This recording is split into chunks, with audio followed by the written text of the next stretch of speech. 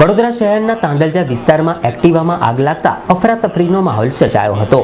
મળતી માહિતી અનુસાર વડોદરા શહેરના એસબીઆઈ તાંદલજા બ્રાન્ચની બાજુમાં આવેલી મન્નત હાઇટ સ્થિત એક્ટિવામાં અચાનક આગ ભભૂકી ઉઠી હતી. આ આગ કયા કારણોસર લાગી હતી તે જાણવા મળ્યું નથી. સદનસીબે કોઈ જાનહાની થઈ ન હતી.